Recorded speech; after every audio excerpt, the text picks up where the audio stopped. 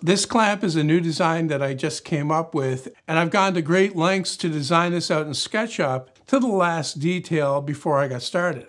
Now the material I'm going to be using for this particular clamp is some of my old vintage 2x4 over here, and I've already cut a piece that's an inch and a half tall and one inch thick. And this is the bar of the clamp, and what I need to do now is I need to cut shallow slots in it, and these are spaced one inch apart.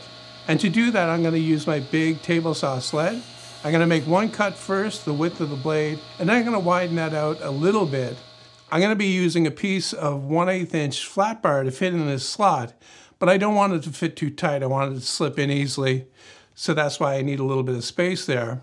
To space the slots, I put a pin in the base of my sled here, and that'll allow me to index that first cut that I made on that pin. I'll make a forward cut and then I'll move it over against the other side of the cut and make a backwards cut to clean it out the same size as the original slot. And I'll do that all the way along to the other end of the bar.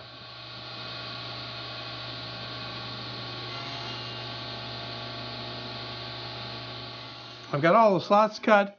I had to stop a couple times to correct the cumulative error that can happen with a pin like this um, what happens when you use just that single point of the pin is the slot can get progressively wider as you move across.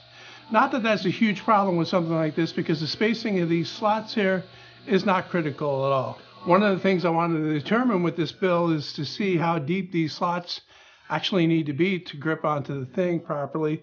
And I've cut these fairly shallow, just a little bit more than 1 16th of an inch deep. The next step is to put the end on the clamp. That's the part that doesn't move. I've already indexed that first cut that I made on that pin. I'll make a forward cut and then I'll move it over against the other side of the cut and make a backwards cut to clean it out the same size as the original slot. And I'll do that all the way along to the other end of the bar.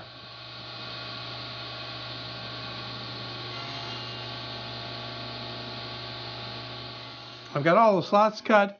I had to stop a couple times to correct the cumulative error that can happen with a pin like this. Um, what happens when you use just that single point of the pin is the slot can get progressively wider as you move across. Not that that's a huge problem with something like this because the spacing of these slots here is not critical at all. One of the things I wanted to determine with this build is to see how deep these slots actually need to be to grip onto the thing properly. And I've cut these fairly shallow, just a little bit more than 1 16th of an inch deep. The next step is to put the end on the clamp. That's the part that doesn't move. I've already cut a short piece that makes up the jaw. I just need to make the two pieces that hold that in place on the sides. And I'm going to cut those from a bigger piece that I cut off the end of the bar.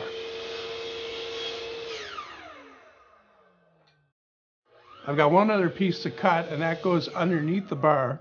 And then I can glue everything together and fire in a few pins to hold it while the glue sets.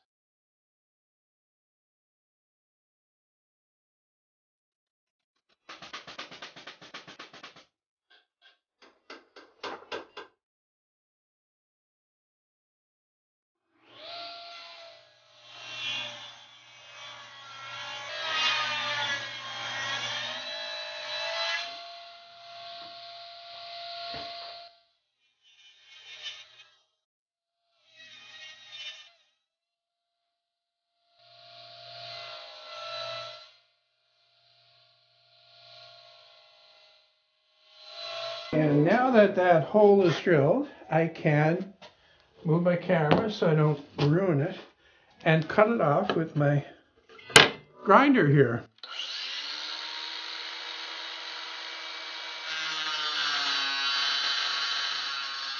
Now this plate is what locks into the slots that I already cut in the bar and it gets fastened to the back of this thing right here. And uh, originally I was going to recess this in, you know, mortise it in so it's nice and flush on the back and looks good. But for the sake of this build, I'm going to mount it on the surface like this.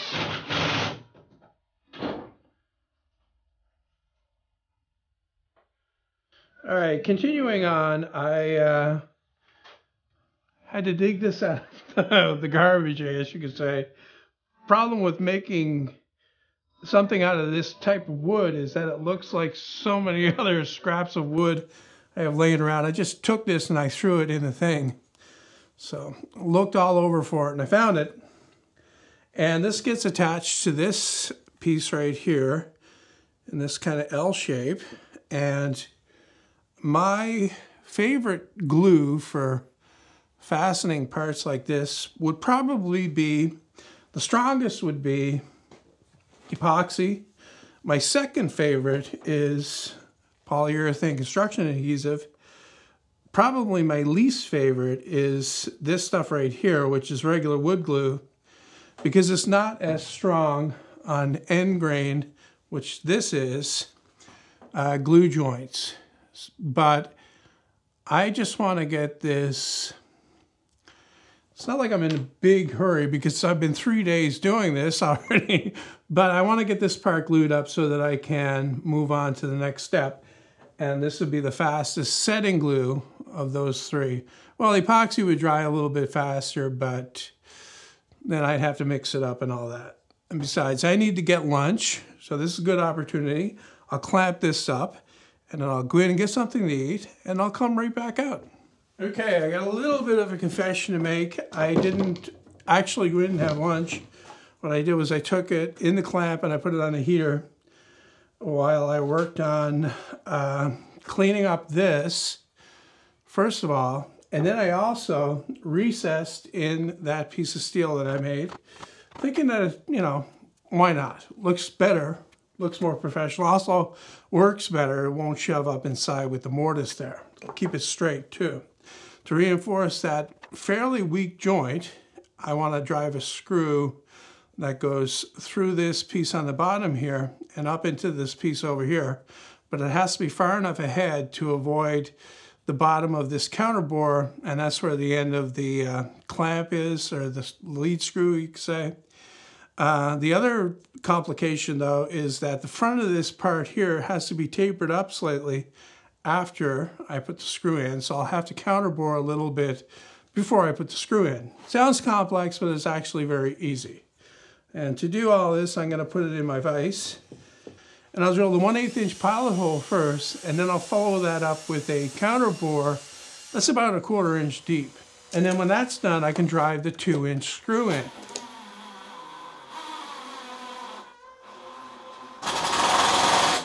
Now, as for that bevel I was talking about, there's not a whole lot to it. Normally, I would take it over to my sander over there and sand that down to that, you know, taper. But there's too much junk over there for me to set the camera up. So I'm going to do it with the chisel here. I'm going to do it old school and just shave it down until it's there. And then I'll do a little bit of hand sanding on it to smooth it out. This taper here, this bevel, doesn't really need to be super accurate. It's just for clearance. Okay, so this piece goes in here like this, and the purpose of that taper, that bevel, was so that when you adjust the clamp, you can tilt it forwards so that it's up out of the notch and it will clear that piece of steel that sticks down will clear the notches as it slides back and forth. I've got a corresponding uh, taper or bevel on the one that's on the bottom as well, except it's on the rear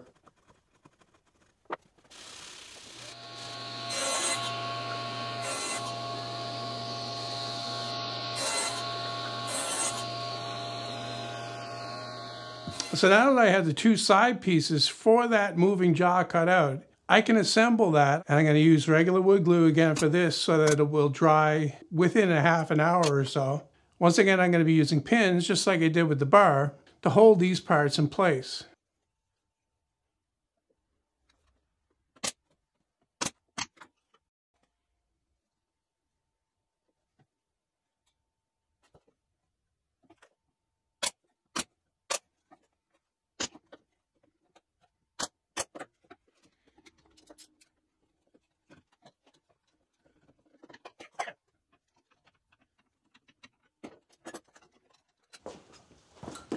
It's the next day again, and um, that makes it day four on this relatively simple project. Uh, I did some extra stuff yesterday after I finished up.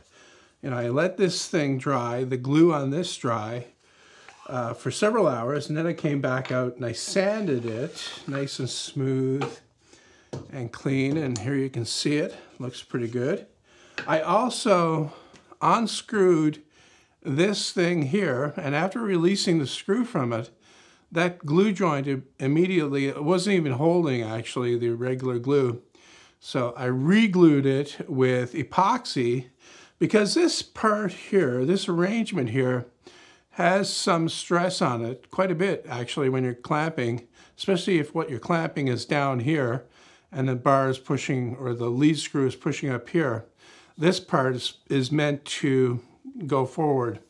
So this has to be stronger and I may actually do something with this in the final build to make it stronger and I've been thinking about that. Probably put this together. I don't know if making it, there's no way to orient the wood ideally uh, to make it in one piece. Really, you want the grain going vertical on this piece right here, horizontal on this piece right here. But this is, that's you know, this, this junction in here, I could cut box joints into it and that would be strong enough. So that's maybe a possibility. So uh, onwards. Now, since these clamps, not this one specifically, but the ones I'll make after it, are meant to replace these ones, I'm going to cut the parts out of this that I need and the only thing that I really need from this is this part right here, this 3 8 inch threaded rod with the handle on it. Rather than make uh, this again, I'll reuse this. I, to be honest, once I replace these with the smaller, easier to use ones, I have no intention of even keeping these. I'll recycle this piece of wood right here for something else, but I can use this thing immediately. So I'm gonna cut that out of there. And then that's just gonna thread right into the piece that I've already built. And then I'm gonna slip the piece of wood that actually holds the clamping jaw in place on there before I put the nut in place as well. Now there are a few different ways to hold this nut onto the end of the threaded rod, but for this I'm just gonna use epoxy and let that set for about 20 minutes before finishing the assembly on this. And finishing this is just a matter of getting a quarter inch washer into the hole of that L-shaped piece. That's what the end of the lead screw will rub against, or that nut. And I also want to get a little bit of grease on the end of that nut. In this case, I'm using Vaseline to lubricate that so it doesn't wear out too quickly. And then I can glue that L-shaped piece right onto that retaining plate, I guess you could call it, and let that dry.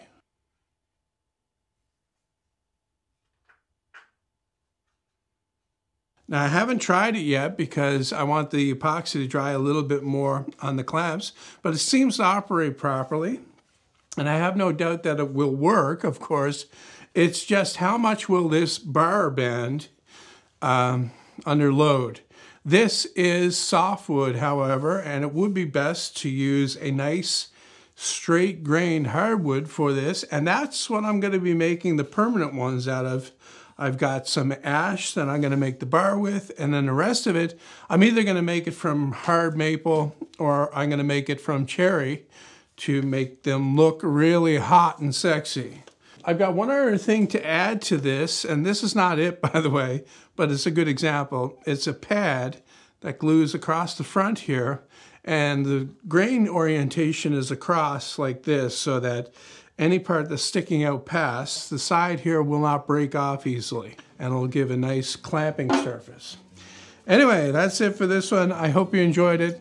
What I'm going to do now is I'm going to finish sanding a little bit and then I'm going to give it a coat of water-based polyurethane to keep this one looking good. Like I say, I'm going to be building uh, more permanent ones from hardwood, but I'm still going to keep this one and use it.